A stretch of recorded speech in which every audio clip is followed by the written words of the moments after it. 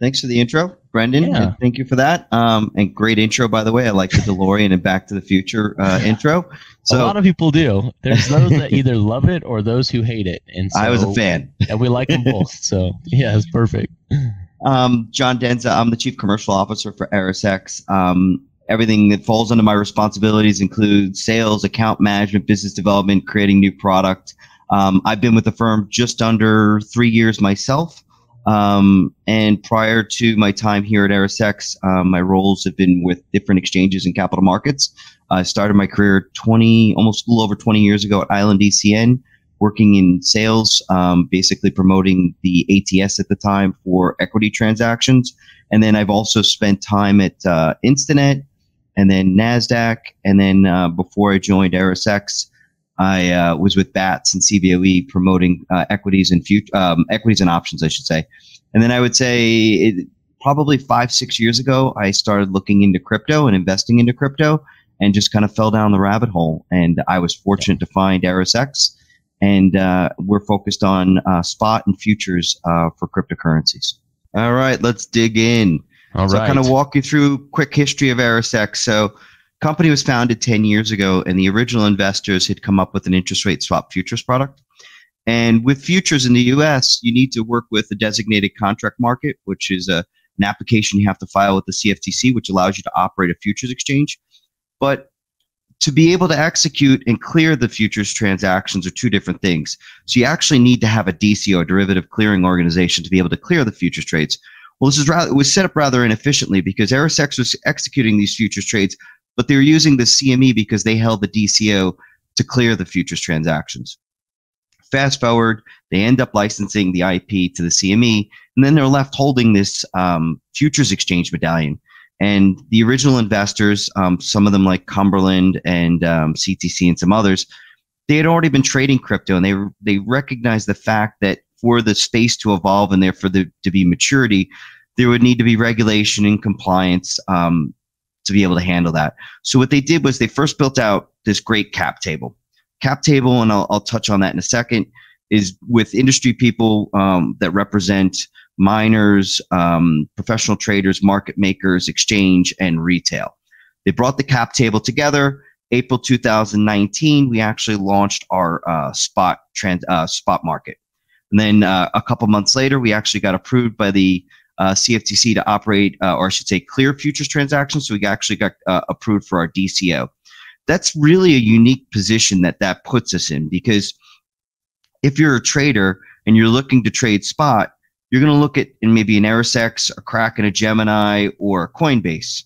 If you want to trade futures, you're going to look at, let's say, uh, a Bakkt, which is physically settled, or a CME, which is cash settled. We're actually unique in the sense that we actually marry both of them. So we have spot trading on the platform and futures trading on the platform. And then to take it a step further, at the end of 2020, um, I should say be, beginning in September, October, we actually started working on our margin application with the CFTC. It's been submitted um, since, I would say, December 2020. And I mean, this is a huge undertaking. You're looking at 70 plus policies and procedures, 3,000 pages in the rule filing. And the regulator basically said, you know, we, we wanted to almost look at doing it piecemeal and getting their opinion. They were like, no, submit the whole application and we'll do a review. And since that time, over the last nine, 10 months, there's been a constant dialogue with the regulator. So, with that being said, in December of 2019, we launched our own proprietary matching engine technology. We put up our first physically settled futures trade. And then we proceeded to, over the last year and a half, go after all the money transmitter licenses, including the US territories and the New York bit license. Uh, we've got 51 of them. And I would say since we got approved for the New York bit license, over the last, I'd say 18 months or so, maybe only one or two other firms have actually been approved for that bit license.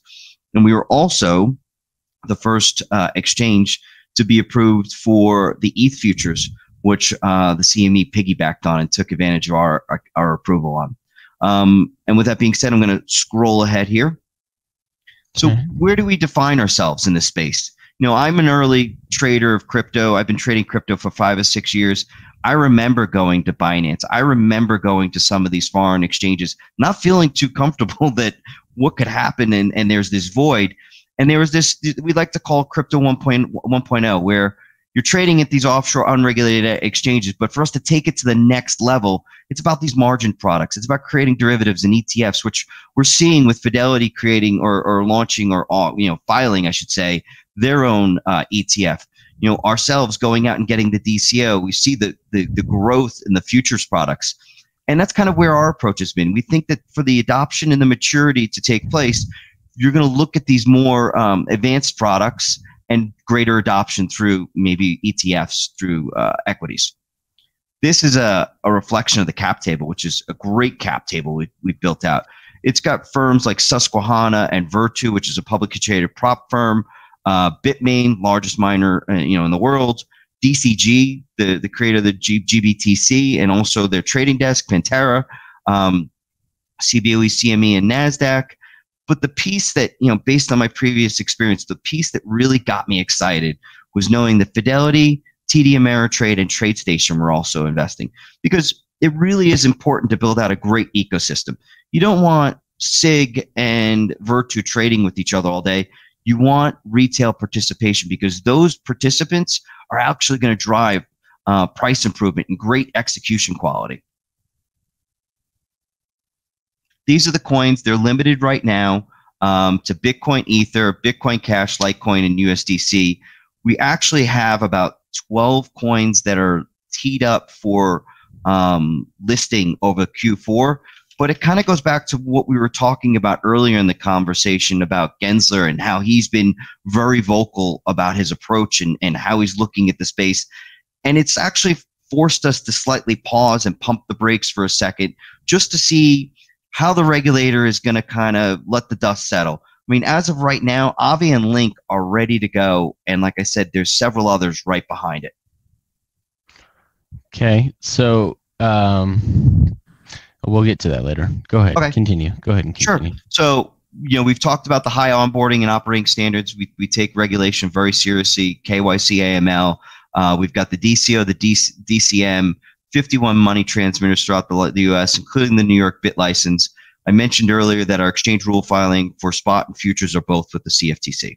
It's just a recap on this slide. Just another recap too. 24/7 uh, trading on the exchange. Also, you know, I talked about how you can actually get somebody on the phone. Our market operations people are available 24/7, and if there's a problem or trading issue or a question you have about using the trading front end, they'll be able to answer the phone 24/7 jump ahead here. I just wanted to give like an example or kind of a view or lens into where ErisX falls into you know the other uh, venues or um, broker dealers or trading platforms. You know, we, we kind of straddle retail, institutional, where you look at retail like a TradeStation or Robinhood, they're pure retail, and retail direct like a Bitstamp or Gemini and so forth in FTX US. The regulatory overview I've already touched on. Just another slide to, to ex- example. We've also gotten approved by our, for a SOC 2 Type 2, so we take uh, security very seriously at ErisX. Okay, I'm very familiar with the SOC 2 compliancy. Rocket mm-hmm. Dollar's got it as well. It's, it's okay. Uh, Quite an undertaking for the team. it, it, really is. Yeah, it's a it's a big deal. People don't understand. That's where we have a community node that's being about to be hosted uh, for Pulse on a SOC 2 compliant uh, yeah, I would say we must have spent three or four months prepping for it, and then when the review happened, it ha- it took another three months as well. Um, just a, a, map of all the states that are covered. Virginia has just been slow um, to approve the application. It's more of a manual process with that state, so that's the only one that's pending right now. And, okay. and then great for customers, John. I know just I always hear from people from New York or Washington, and now for some other exchanges, it's like five, six other states. What I really love is I, I don't need to worry where someone is. Virginia, they're working on obviously, but ErisX can serve them. I've seen yep. so many New York customers left out from other exchanges. Yep. So, so Freddie quote, sorry, brother, you're gonna have to wait for this. so uh, the next next slides are just kind of giving an example of what you would expect once you become onboarded at ErisX. Once you've gone through the KYC AML process, you get access to our exchange member portal. The member portal is pretty straightforward. Shows you your positions um, and transactions. If you need to get a statement downloaded, you can do that. And then we offer two ways for the participant or the member to trade on ErisX. One is the quick trade widget. So in this example, you know, maybe I don't want to look at the complicated front end trading UI. I want something quick and easy. Um, with this, you put in a thousand dollars. It tells you how much BTC you would purchase. You hit buy, boom, yeah, you've acquired the uh, that amount of BTC. In this scenario, it would have been you know 0.0178 based on what it was trading at the time. It's also available on mobile. It's easy. We don't have an app, unfortunately, but it's sized perfectly to an iPhone or a Droid. Okay. And this is actually the full blown trading UI. Instead of looking at this slide, I'm going to jump over to looking at it real time. So this is actually our market for Bitcoin in real time. Uh, these are live bids and offers. Ooh, look at that book. trash just dump. Look yeah, at it dump, guys. huge trash dump coin. It took a beating while we started after we started the call, and you somebody down here is very happy that they got their transaction down yeah, there. Absolutely. So, yep. So this is the order book, pretty straightforward. If I clicked on an offer, it's going to kind of auto populate the transaction ticket. There's your bids, charting, time and sales, trade history, I should say, and then working orders and executed orders would be down here. Let's jump back yeah. into. So we already walked through there. Also, which is a little bit unique to us too, we've actually created algos. So if somebody's interested in doing pegging on the platform, where they want an order to, to you know to move up and down with an offset, they can set that into the platform as well.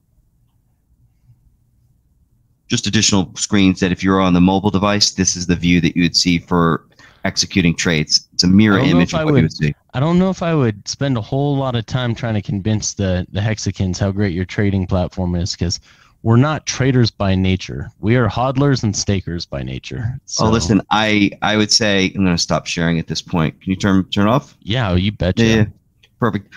I would say that we're not trading front end, you know, experts ourselves.